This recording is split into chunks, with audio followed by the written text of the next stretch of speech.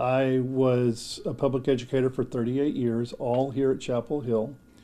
When I first started here at Chapel Hill, we were a K 8 school with about 130 students. It was teeny tiny and three facilities, including the elementary, the old elementary gym.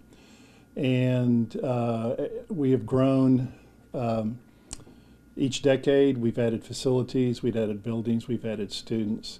And, um, and it's a process. You know, when you start, it's not something that you, you know, you can, you can actually plan ahead for, you know, like a crystal ball and see what the future holds. And we're, we're, we're proud of that because we're a school of choice for a lot of people in this area. And uh, we want to continue that with our facilities. How will this affect homeowners or uh, what is that tax increase? That's a good question because uh, we're voting on constitutional amendments as we speak, and one of those is the $100,000 uh, homestead exemption.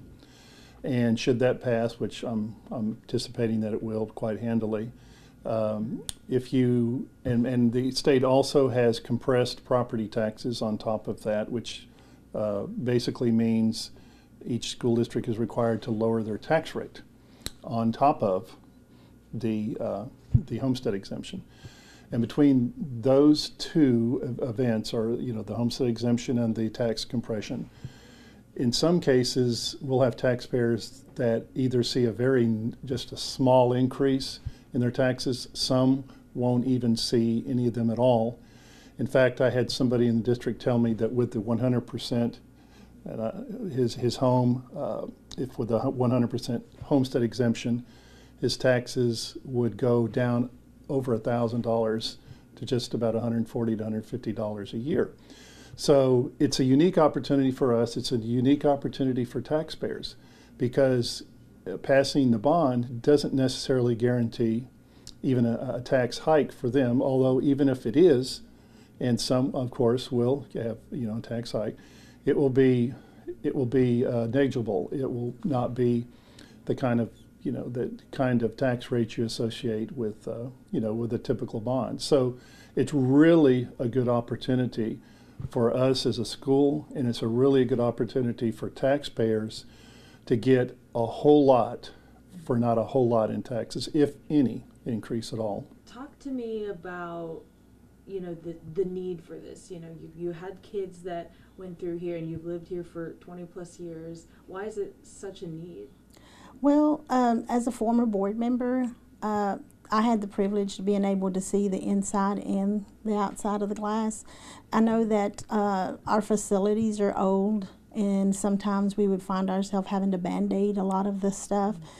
And I just personally believe that instead of constantly band aiding something, that we should just, if we have the opportunity to go ahead and make a, a new building to where it needed, which is our gym. But not only that, the safety of it. I think that's the most important thing to me is that right now we have our youngest children out there, which is our pre-K in portable buildings. And uh, as a mother, as a mother, uh, I think that safety is the most important thing. So if we can contribute to help getting these children into a permanent building, and along that making our gym permanent, a newer building to where we have, I'm thinking like 500 elementary students that use that, which is a requirement from the state. You know, they have to have their PE. So why not? I mean, I think that um, we should all come together. We should all come together to be able to make these things happen. We live in a rural area to where our taxes is a, a, a, a poor school district. So we don't have uh, any businesses around. We have a lot of ag exemptions, plus our uh, caps on 65 plus retirees. You know, so we don't have the funds just to say, you know, let's do this. So I think that it takes a village to raise a child, and if we would all contribute a little bit to make it happen, I think that, that that's something that's foreseeable and can be done. And my last thing I would like to say is that um, I'm bilingual. So I'd like to take a small opportunity to go ahead and tell our bilingual uh, uh, parents uh, in Spanish to where they could understand. Um, primeramente, mi nombre es Teresa Banda Padrón y quiero invitarlos de que por favor apoyen a nuestra eh, escuela, que es muy importante de que nosotros este, hagamos una diferencia para nuestros estudiantes. Y la única manera de que nosotros podemos hacer algo positivo para nuestros estudiantes es votar, tener esa voz tener esa voz para poder ayudar nuestra, nuestros niños a salir adelante.